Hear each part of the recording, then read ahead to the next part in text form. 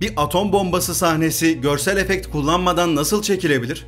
Christopher Nolan gururla sunar. The Dark Knight Rises için bir nakliye uçağı düşüren, Interstellar için 500 dönümlük bir mısır tarlası satın alan, Tenet içinse bir yolcu uçağı patlatan Nolan, Oppenheimer için bu kez gerçek bir atom bombası patlattı. O kadar da değil. İngiliz yönetmen tarihteki ilk nükleer patlamayı içeren sahneyi atom bombası olmasa da çoklu bombalar kullanarak çekmiş. Hem de yıllar önce patlamanın gerçekleştiği yerde. Patlamayı günümüz teknolojisiyle daha önce hiç denenmemiş bir şekilde çekebilmek için büyük bir çaba gösterdik diyor usta yönetmen. Bize de 21 Temmuz'u beklemek kalıyor.